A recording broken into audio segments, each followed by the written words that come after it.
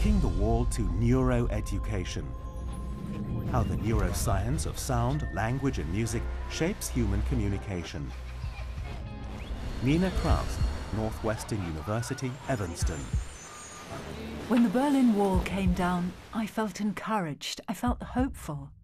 People can do the right thing.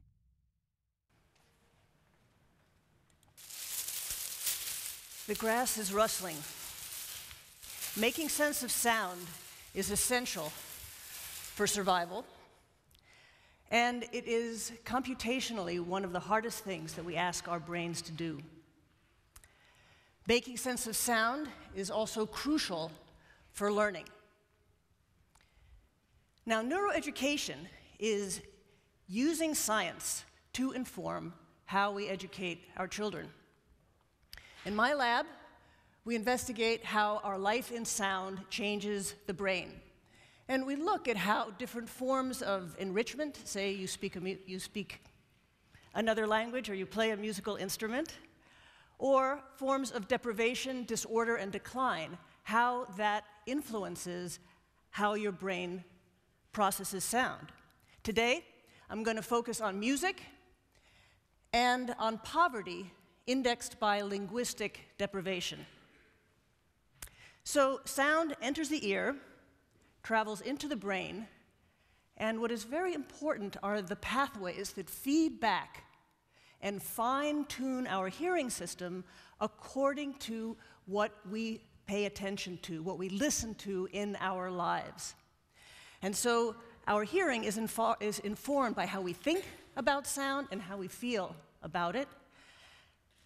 The sounds of our lives change our brain. We have an evolutionary experiment with us uh, in a human life, and it is a process that is informed by learning continuously. So, how do we access sound processing in the brain? Well, sounds can be very fast. Imagine uh, the difference between a B and a P happens in milliseconds. Um, the, the, the, pluck of a string, the crash of a drum, of the snap of a twig. And the brain responds as fast as the sounds itself. So we're talking about microsecond processing here. So, how do we access this?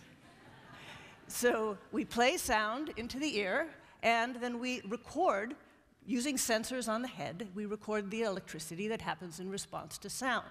And what you can see here is that the sound wave and the brain wave actually physically resemble each other quite a lot.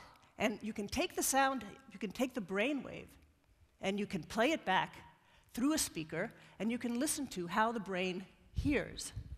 So here's the sound wave. Da. Da. da. The brain wave. A few more examples. Da. Da. You'll hear a scale and the brain's response to the scale.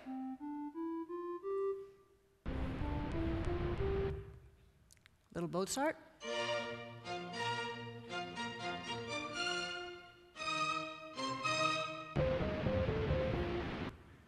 And my favorite. All right, so we have a lot to work with. And from a single response from the brain, we are able to look at how the brain processes essential ingredients in sound, and there are many of them. But they are rooted in pitch and timing and timbre. And what we're able to do now is to determine how good a job your brain is doing at processing these individual ingredients. And a mixing board is a really good analogy here. This is not a volume knob effect. It's not a matter of making everything louder or smaller. This is very, very fine tuning. And so an enriched brain might have a profile that looks like this and might be listening to this speech in the following way. I want you to get up right now and go to the window, open it, and stick your head out and yell, I'm as mad as hell, and I'm not going to take this anymore. All right.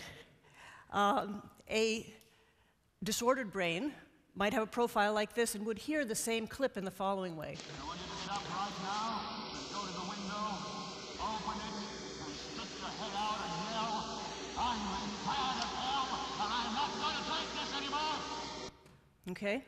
So the wall that we have broken down is that what we're able to do now is that we really can access sound processing in the brain at a microsecond level of precision. How do we apply this knowledge? Well, one thing we can do is use this to predict reading ability.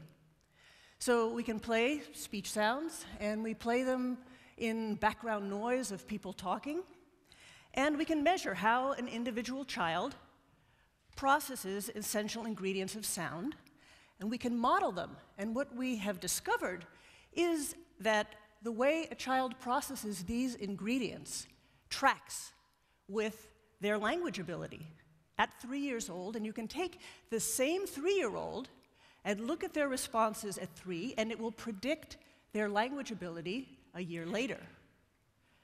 Now, when we look at children who have actually begun to read or they're reading, we see that how the brain processes these ingredients of sound tracks with actual reading ability. But what does this have to do with music? Language and music abilities coincide. We have studied the impact of musical experience on the nervous system across the lifespan, beginning with preschool kids, school age kids, young adults, and older adults, and we have looked at this in educational settings, um, in adolescents and in elementary school kids. And these projects in schools came to be because the founders of these projects came to me and said, We already know that the children who are making music are better learners. What is going on in their brains? Well, music really requires that you make sense of sound and that you process all of these ingredients. For example, that, that, every musician has to be able to hear the sound of his own instrument amidst this very complex landscape of sound. And so we reasoned that this ability to make sense of sound would transfer to other situations where it's important to figure out what is going on in a complex sound environment. For example, hearing your friend's voice in a noisy restaurant or hearing a teacher in a noisy classroom. And it turns out that we were right. Across the lifespan, we find that people who actively play music, and we're talking hobbyists here, not professional musicians, can hear speech sentences that are presented in noise. Tell me if you can hear the sentence. Anybody get it? How about this? Sugar is very sweet. Hear it? Sugar is very sweet. So, but, but beautifully, you can see it in the brain responses. So, the responses of the musician and the non musician to this sound, these are speech sounds, are, can be quite similar in quiet. But in noise, you can see that the musician's response remains robust in noise, whereas the non musician response is really affected by the noise. So there's noise on the outside, but there's also noise inside the head. There is neural noise. And one of the things that I need to tell you about the children that we have studied in schools is that these children are all from low income neighborhoods. And an index of poverty is, we know that linguistic deprivation often accompanies poverty, and it is measured typically by maternal education. And so, what we did, well, we know that children whose mothers have less education are likely to hear about 30 million fewer words by the time they are five years old than kids whose moms have more education. So, what we did is we took, these were all low income children, and educated in the same classrooms. We divided them simply based on how much education their moms had, and we found that the kids whose moms had less education had more neural noise, and on top of it, they were not processing those essential ingredients of sound particularly well. So you can imagine the analogy of listening to the radio. There's static on the radio, and on top of it, the announcer's voice is kind of muffled. So this is difficult then, and we know now, we can see that there is a neural signature for poverty, and we have discovered that it can be at least partially offset by making music. as well as by speaking another language. So it takes time to change the brain. We saw no biological changes after one year of musical training in either of our Los Angeles and Chicago based school cohorts. But after two and more years, we did see these fundamental changes in how the brain automatically processes sensory events. And the kids who were more actively engaged, we saw more robust changes.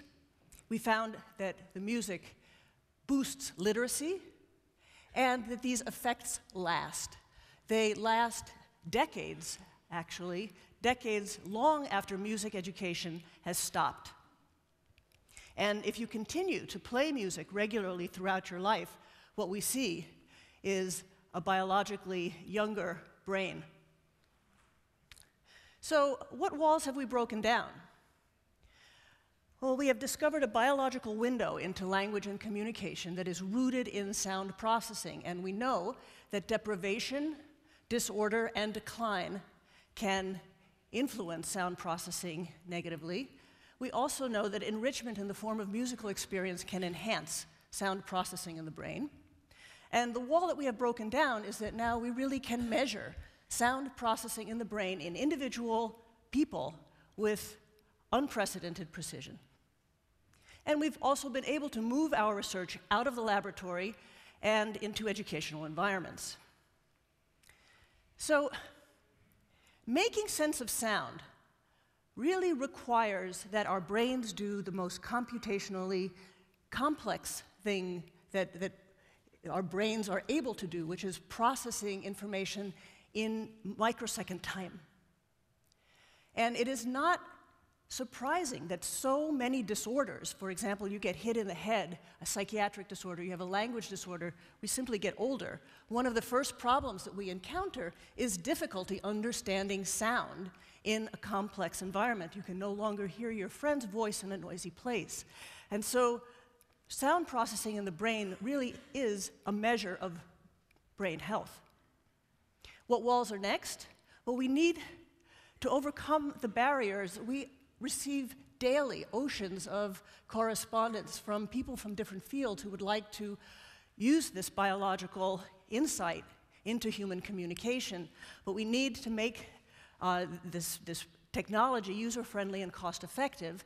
And uh, to that end, I'm, I'm scientific officer of a company that is working to create a user friendly platform so that we can make this ability to access sound processing in the brain globally accessible and empower scientists, clinicians, educators, and policymakers to really make this a standard of care.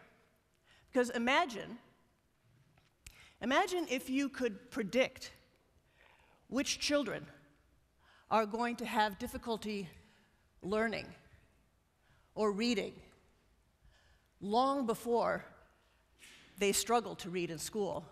Or if you can inform the learning and reading, there are so many reasons why a child can have difficulty reading. We can have insight into what the bottlenecks are. And we can use the biology to tailor intervention and to monitor outcomes, whether it be educationally, through device development, through computer technology, um, and we can really use and improve communication by what the brain hears and listen to sounds all over the world. So um, I would like to acknowledge the people in my lab who do all the heavy lifting and are responsible for the work that I have shown you here. And I would like to invite you, please, to visit our website, which is a labor of love.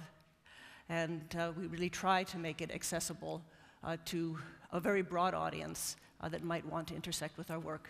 Thank you. Hey.